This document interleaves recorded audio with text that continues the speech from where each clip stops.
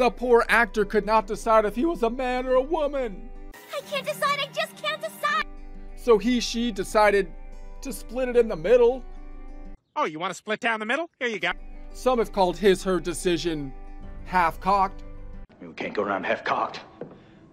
But he, she proceeded wholeheartedly with his, her half cocked decision. Protest, and we no heartedly believe that with your help, we can conflate buying our products with genuine activism. Honestly, I remember the days when most dudes were obsessed with going the opposite direction of this kind of half cocked decision. You don't send them off half cocked. Not that that's healthy either, I'm just saying.